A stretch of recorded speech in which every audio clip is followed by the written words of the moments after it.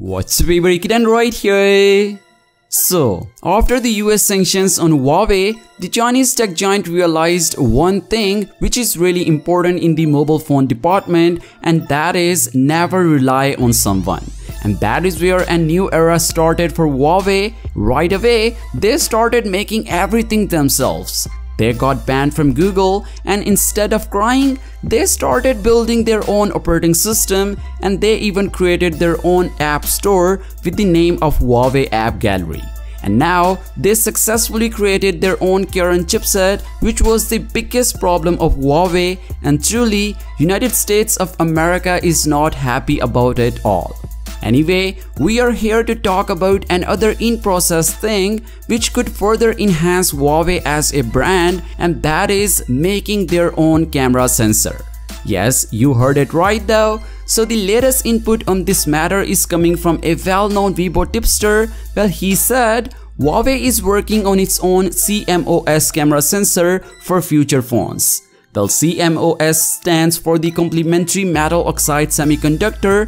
Well, it's an electronic chip that converts photons to electrons for detailed processing. In simple words though, CMOS sensors are far better than CCD sensors. They are cheaper, faster and more energy efficient than the other sensors available in the market. And if Huawei successfully achieved that thing, it would be a game-changing achievement for Huawei. And for some context though, if you don't know, Sony and Huawei have been working together on camera sensors technology for a long time.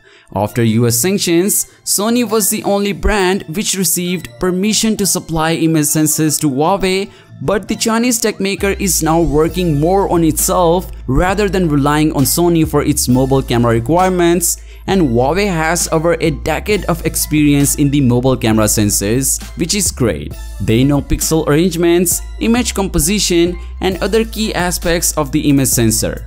Huawei can also customize ISP, which it has been doing with an in-house Kirin chip. So Huawei basically knows all of the ingredients of an image sensor and it would not be an issue for the company to form an whole image sensor.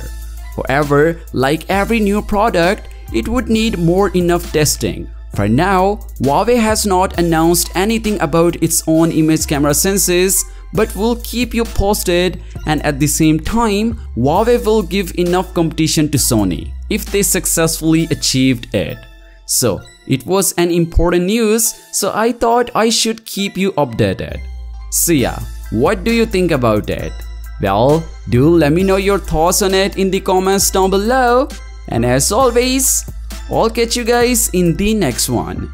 Peace out.